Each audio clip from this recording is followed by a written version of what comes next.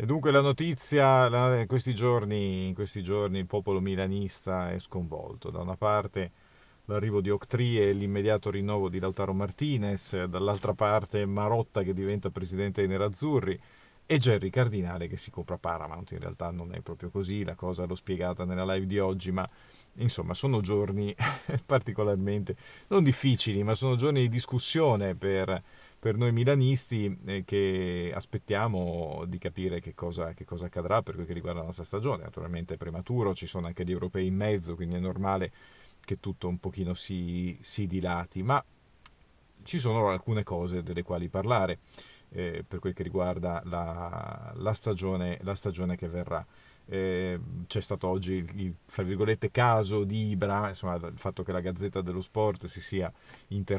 sulla figura, interrogata sulla figura di Ibrahimovic e, e, quale sia il suo ruolo operativo all'interno del Milan. Beh, probabilmente la risposta è che il ruolo operativo non c'è,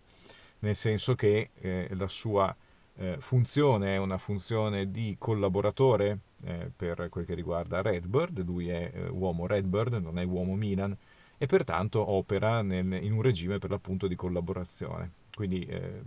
probabilmente riferirà certe cose eh, a Cardinale, immagino non cose ehm, strettamente legate a quello che, che, che, non riguarda, ad esempio, non lo so, mi immagino io, comportamenti piuttosto che, non credo che entri nel merito delle decisioni, ad esempio, che prendono eh, Furlani o Moncada o chi per loro, anche perché vorrebbe dire eh, una mancanza di fiducia da parte della proprietà rispetto ai dirigenti che ha messo lì un anno fa. Quindi non credo che questa cosa, eh, non, non, credo ecco, in un ruolo di sorveglianza, credo in un ruolo molto eh, appariscente, questo sì, un ruolo che permette comunque in un modo o nell'altro eh, di parlare eh, del Milan e di farlo attraverso un personaggio estremamente mediatico, eh, estremamente noto,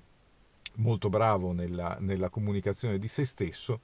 ma fino adesso insomma inefficace per quel che riguarda le azioni legate al nostro Milan. È, è anche vero che in questo momento c'è una tensione nei confronti di Ibrahimovic che è abbastanza palpabile, lo si nota dal tenore dei commenti sui social eh, ai suoi post, per cui anche questa cosa eh, va, eh, va, calibrata, in questo momento va calibrata perché il tifo milanista eh, viviamo tutti eh, su un filo, appesi a un filo, un filo che per alcuni come sottoscritto si è già spezzato da tempo, per altri invece resiste nella speranza davvero che questa possa essere l'estate di qualche cosa, ecco, di qualche cosa. Eh, I progetti nel mondo del calcio sono progetti che durano un certo periodo. Eh, gli instant team non hanno mai funzionato e noi ne siamo la prova quando Elliot arrivò, ne abbiamo parlato ieri, eh, con eh, gli stravolgimenti, non ha funzionato nemmeno eh, prima con Yongon Lee o chi per lui e tutta quella campagna acquisti di Fassone Mirabelli, ci vuole progettualità, ci vuole un progetto che continui in questo senso, in questo senso, seppur paradossalmente, ma le parole di Furlani nella famosa intervista alla Gazzetta dello Sport suonano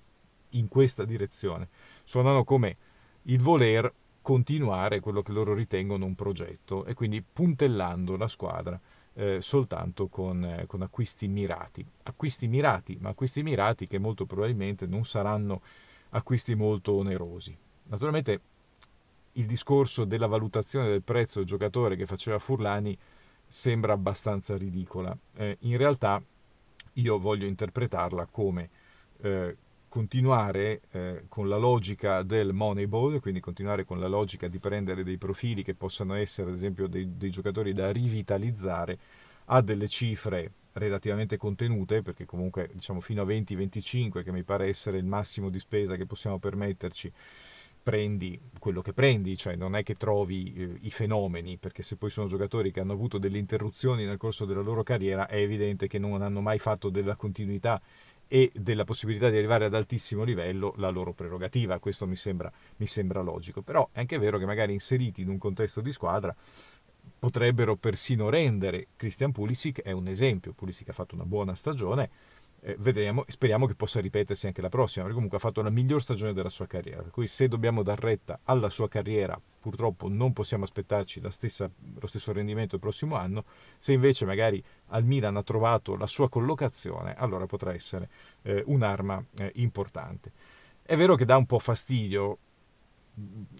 leggendo i giornali per quel che vale, ma prendendoli insomma come riferimento del mondo Milan eh, per le notizie,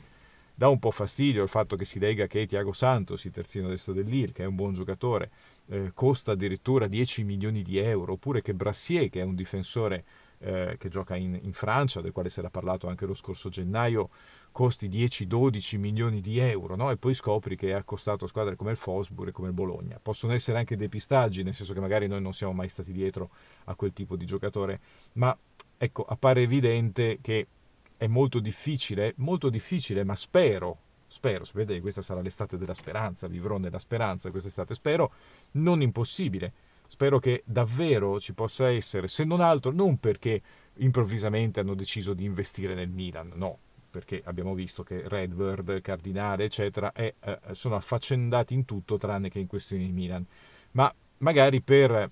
calmare un po' l'ambiente, per dare ai tifosi l'illusione, ecco, quella cosa lì. Naturalmente noi staremo attenti e monitoreremo tutto perché hanno già provato a farlo l'anno scorso con risultati modesti, spiace dirlo perché il risultato minimo ottenuto quest'anno è per l'appunto, lo dice la frase stessa, il risultato minimo non può essere un risultato soddisfacente, è un risultato minimo. Ecco, detto questo, eh, mi, mi, vedo difficile che si possa arrivare ai nomi ipotizzati. Ce l'hanno menata con Sesco per settimane, poi Sesco è sparito. Ce l'hanno menata con Zirze per mesi e poi Zirze è sparito. Ora c'è Jimenez del Feyenoord, ma anche lì lo devi prendere. Il mercato di attaccanti è costoso. O vai a prendere una scommessa e ci provi, e ci provi, ma devi essere bravo a sceglierlo. Devi saper collocare il giocatore all'interno della squadra oppure eh, rischi veramente di fallire in uno dei ruoli fondamentali del Milan della prossima stagione, quello del centravanti. Poi ci sarà da operare in altri ruoli, ovviamente, perché eh, si è parlato, quando si è parlato negli ultimi giorni di Hummels, eh, a me sinceramente sono venuti gli occhi a forma di cuoricino, perché al di là di tutte le valutazioni, Hummels è un signor giocatore. Da capire anche lì se ha avuto un sussulto in questa fase della sua carriera, ultimo prima del declino definitivo, eh, oppure no, ma queste sono tutte cose che dovrebbero saper fare i nostri dirigenti, sono tutte valutazioni che dovrebbero saper fare i nostri dirigenti. Auguriamoci che siano in grado di farlo. Poi c'è eh, tutta la questione legata al mercato in uscita. Eh, oggi leggevamo nel corso della diretta delle dichiarazioni di giornalisti che dicono beh insomma di fronte a, offerte irrinunciabili tutte le squadre cedono anche il Milan cederebbe beh la condizione del Milan dal punto di vista economico finanziario è una condizione nella quale potremmo tenerli tutti. Poi è chiaro che se Teo vuole un aumento di stipendio legittimamente, visto che comincia ad andare nella seconda fase della sua carriera, beh, eh, si può anche capire che se ne voglia andare se al Milan non gli danno quello che lui ritiene giusto. Sul fatto che si debbano vendere per forza, io non sono d'accordo nella nostra condizione, nella nostra condizione, perché la nostra è una condizione che ci permetterebbe di tenere tutti, di aumentare anche il costo della rosa da un punto di vista di ingaggi, ma questo evidentemente, lo sappiamo, non vogliono farlo. E quindi bisogna cercare di fare con quello che si può fare. C'è una, una questione che eh, ho sollevato sempre nella live di oggi, è quella legata alla qualità. Mm, adesso non prendetemi per pazzo, il mio è solo un riferimento a, diciamo, al, modello, al modello di calcio, cioè il Real Madrid. No? Riflettevo sul fatto che tutti i giocatori messi dentro negli ultimi anni dal Real Madrid, da quando hanno intrapreso questa politica, sono tutti giocatori di qualità. Sono tutti giocatori che sanno trattare col pallone, anche centrocampisti che dovrebbero essere, fra virgolette, di rottura, sono giocatori qualitativamente molto elevati. È chiaro che io non posso pretendere, eh, anche sapendo che il Milan non spende tutto quello che può spendere, ma non posso pretendere che il Milan prenda Mbappé, chiaramente. Però mi piacerebbe ecco, cominciare a ragionare su questa cosa, cioè sul fatto della qualità degli interpreti. Naturalmente qualità degli interpreti che deve essere funzionale a una squadra equilibrata,